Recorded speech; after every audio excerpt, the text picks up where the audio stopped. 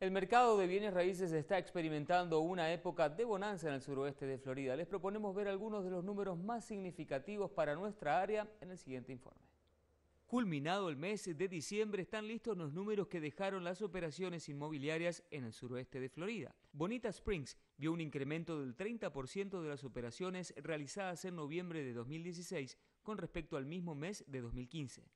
Los datos surgen del reporte mensual elaborado por la Asociación de Corredores de Bienes Raíces de Bonita Springs y Estero, BEAR por sus siglas en inglés. El reporte indica también que el valor medio de las operaciones inmobiliarias experimentó un aumento del 5%.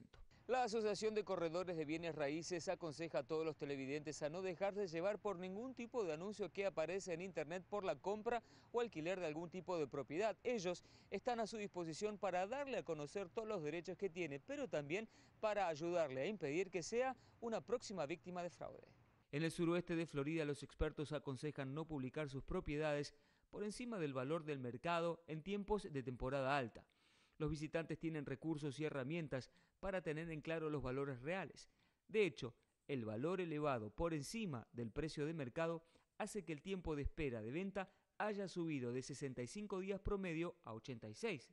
Los especialistas concuerdan en que en una economía real y sana el promedio de espera de venta no debería superar los dos meses de oferta. En cuanto al inventario de viviendas para domicilios particulares, se viene manteniendo estable por los últimos seis meses en el marco de un equilibrio entre oferta y demanda que hace mantener precios estables o con subas interanuales de hasta un 5%.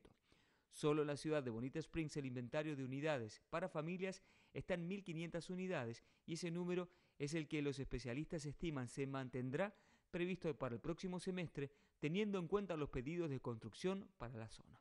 Desde el Condado Lee, con cámaras de Mario Avilés, Hernán Frato,